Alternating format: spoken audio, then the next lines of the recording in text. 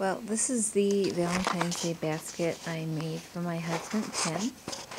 And I can show you what's in here. I tried to do um, a mix of healthy and some of his favorites. I have a box of Russell Stover's chocolates. A big heart, and it says my number one draft pick. I just thought that was cute. He's not particularly a football fan, but um, I still thought that was cute and then a chocolate sucker that has a cupid on it from a uh, candy store, Kelly's Country Store in Grand Island, New York. And then some white chocolate pieces in spring shapes. two of those. those are also from Kelly's Country Store.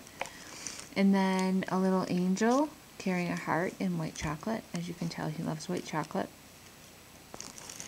And then two uh, king size Reese's peanut butter hearts. He loves peanut butter.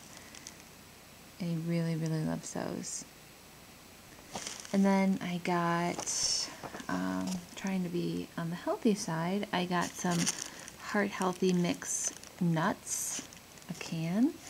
And then I got some of the, a box of the little mini packs, and I put these in here too. He really loves nuts. And then I also got a Sweethearts, instead of the regular Conversation Hearts, I got the, um, the mint ones. And those look fun. They're in a little heart-shaped plastic package. So, there is the Valentine's Day basket I made for my husband.